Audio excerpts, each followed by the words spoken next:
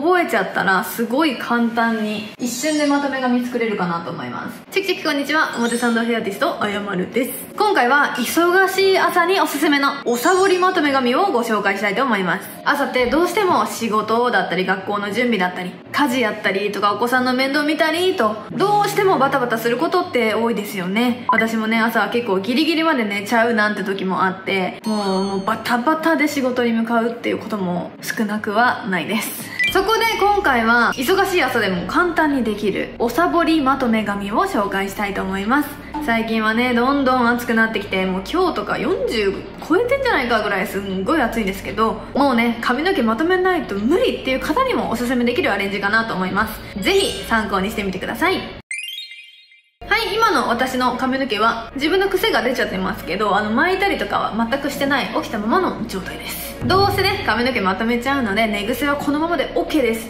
ただブラッシングとスタイリング剤ですね。この2つはやるようにしてください。ブラッシングをしない絡まった状態でアレンジをしてもなかなか見栄えが良くなかったりとか髪の毛まとめてるのになんかパサパサに見えちゃったりするので必ず髪の絡まりは解いておいてください。この絡まってない状態を作ってからアレンジをするだけでも全然やり心地だったりやりやすさ変わってくるので必ずブラッシングはしてください。でそして次スタイリング剤もつけてほしいですね。このスタイリング剤をつけることによって髪の毛にツヤが出たりとかまとめやすくなったりとか特になんかしてるわけじゃないのにいい感じに見えるアレンジになるのでもうスタイリング剤をつけるっていうのも1個のコツというかポイントかなと思います。まとめ髪をするのでこう髪の毛1本にしてもらってこう毛先くるくるくるってやったりとかこの見える表面のところ余ったバームでなじませてあげたりしてください。このね意外とこの面の部分のツヤもねアレンジがうまく見えるコツなので中間毛先だけでなくこの表面の部分をつけてくださいね。はいそしたらまず1個目。ゴム1つでできるまとめ髪紹介します。はいまずは髪の毛を後ろで1つにまとめます。結ぶ位置はだいたい耳の高さと同じぐらいでいいかなと思います。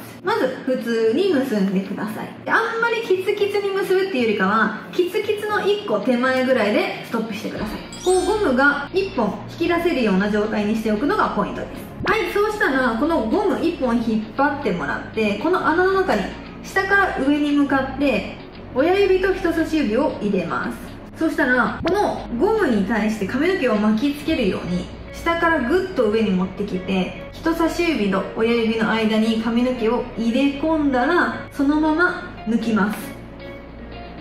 ず1回目。そうしたらまた今1本引っ張った部分と同じ部分のゴムを引っ張ります。ゴム変えずに同じゴムを引っ張ってください。そしたらまた同じように下から上に向かって親指と人差し指を入れます。そしたらこの毛束を人差し指に巻きつけるようなイメージですね。それから上に持ってきてしっかり指で挟んだらまたぐーっと引っ張り出すんですが最後は抜き切らずに毛先がピョーンと残った状態でストップします。はいそうするとこんな感じで完成です。じゃーん。のねピョーンって毛先が飛び出るまとめ髪。今の流行りですごい可愛いですよね。前から見るとこんな感じです。しっかり髪の毛まとまってます。寝癖なんてねなかったかのようにしっかり髪の毛まとまってごまかせております。分かりやすく説明するとこうゴムの軸に対して髪の毛を巻きつけていくような感じです。これ本当に覚えちゃったらすごい簡単に一瞬でまとめ髪作れるかなと思います。髪の毛くるくる巻きつけてるので動きもしっかりあってめちゃくちゃ可愛くないですか？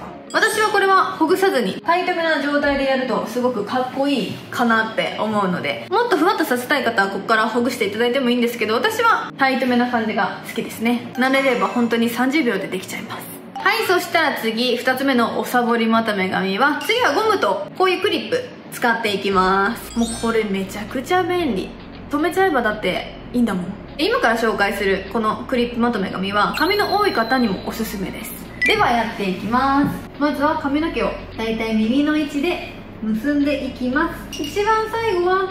結びきらないお団子でストップしてください。こんな感じです。そしたら今お団子作った上に穴を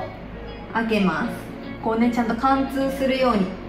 穴を開けます。そしたらこの毛先ですね下に持ってきて穴の中に親指両方の親指を使ってぐーっと入れ込みます。でそのまま抜き切らずにストップ。あとはこの真ん中にクリップを止めるだけです。はいこんな感じで完成です。じゃーん。この髪型もしっかりまとまってますね。こうやって髪の毛先の部分だけ入れ込んで留めることによって髪の毛全部をまとめたところにクリップ留めてないので留める毛束の量が減るんですね。でさらにプラスでクリップつけなくても土台が綺麗に形作られてたじゃないですか。なので土台がある上にクリップを留めているので結構丈夫なんですよ。結びきらないお団子の毛先だけを留めている状態になっているので毛量の多い方でも普段のねクリップで留める毛束よりは少なくなるんじゃないかなと思います。土台もしっかり作られているので崩れにくいかなと思います。でねやっぱりクリップがあることによってすごいデザイン性というか留めてるだけなのにすごいおしゃれに見えませんか？便利ですね。これぞおさぼりまとめ髪に必要不可欠なアイテムなんじゃないかなと思います。今はねいろんなデザインもあるのでそのやってることは同じだけどクリップが違うだけで全然違うアレンジにも見えるので私とか結構バーンスクリップのコレクターなんですけどいろいろあるとテンション上がるかもしれません。はいということで皆さんいかがでしたでしょうか？今回は忙しい朝にぴったりなおさぼりまとめ紙の紹介でした。今回のやり方だったら難しいこと一切してないけど普通すぎないアレンジになるかなと思うので見た目も可愛いですし慣れちゃえば本当にパパッと一瞬でできちゃうんじゃないかなと思います。もちろんねこだわった細かいヘアアレンジレンジもすっごく可愛いですけどたまにはねこういったちょっとサボれるというか心に余裕が持てるヘアアレンジを日常にね取り入れることでやっぱり毎日毎日気合入れてってやってると疲れちゃうこともあると思うので気楽にできる日もあってもいいかもしれないですね。もう簡単だし十分可愛いですからね。ぜひ皆さんも参考にしてみてください。また私の公式 LINE のお友達追加もお願いします。追加特典として期間限定で5つの限定動画と私が出版した書籍の一部を無料プレゼントしています。お友達追加方法は概要欄のリンクからかもしくは固定コメントのリンクから追加することができます。この機会にぜひ LINE のお友達追加お願いします。はいではまた次の動画でお会いしましょう。じゃあねカミニーとは現役の表参道美容師であり毛髪診断士でもあるあやまるが開発プロデュースを手掛けるヘアケアブランドです。発売時は Amazon ビューティーカテゴリー9冠達成。また楽天市場では発売開始早々に総合ランキング1位を獲得するなど今注目されているヘアケアブランドです。一番の特徴は150万人を超えるフォロワーを持つ SNS を活用している点です。SNS を活用することで広告費を削減し削減分を原料に充てることでサロン専売クオリティを手頃に使い続けやすく提供する新常識を作り出すヘアケアブランドです。髪を通して日本中の女性を輝かせるというコンセプトのもと皆様の髪にいいものを提供し続けることをお約束します。もっと知りたいという方は概要欄もしくは Amazon 楽天市場にて紙にで検索してください。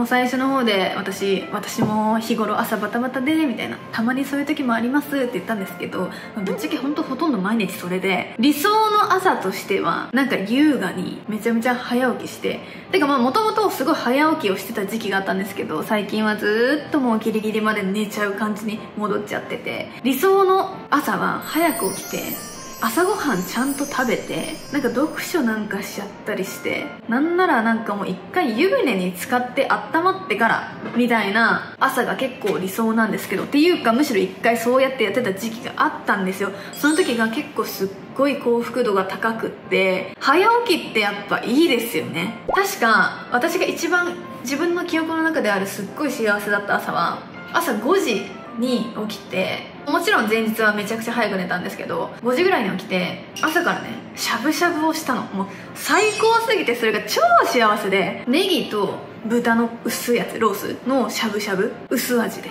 なんかちょっと出汁効いてるみたいな。を食べてちょっと本読んでちょっとこれお風呂入れるんじゃないみたいな。さっき私が理想で喋った順番なんですけどちょっと湯船に浸かってで会社行くみたいな。のがめっちゃ幸せで朝から私こんなに優雅に過ごしててなんかすごいハッピーというか幸せだなって感じなんですよね。それをやりたいんだけれどもなんか最近なかなか難しくて家出る5分前に起きたりとかしてめっちゃバタバタなんだよな。もう最近の私の朝のルーティンとしては起きました。まずコンタクトつけます。顔洗ってパックしてそのパックしてる間に着替えてもうすぐ出るみたいな。もうちょっとねゆったりした朝過ごしたいなって思うんですけどなんか最近どうしても今できない時期でまた朝からしゃぶしゃぶやりたいな。